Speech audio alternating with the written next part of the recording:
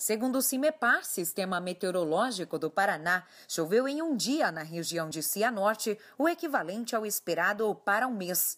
Ao todo, foram 103 milímetros, valor que quase atingiu a média histórica para o município no mês de março, que é de 134 milímetros.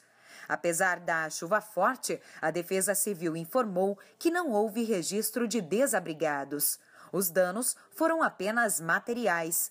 Os prejuízos ainda estão sendo contabilizados e a maioria deles está na região rural. Pelo menos três pontes foram danificadas no distrito de Vidigal. Na região central da cidade, os principais pontos de alagamento foram na região da Avenida Paraíba. O caso mais grave foi a queda da ponte sobre o rio Catingueiro, na PR 082, entre Cianorte e Terra Boa. A estrutura não resistiu à força da água e desabou. No sábado, um veículo acabou caindo na cratera. O motorista informou que é de Arapongas e que viu a sinalização na via, porém acreditou que o trecho estava em obras e que dava para passar. O veículo foi retirado da cratera por um guindaste e, por sorte, ninguém ficou ferido. Segundo o Departamento de Estradas e Rodagem, as medidas para o reparo da pista estão sendo tomadas. Agora será necessária uma licitação para a contratação da empresa que executará o serviço e a obra deve ser iniciada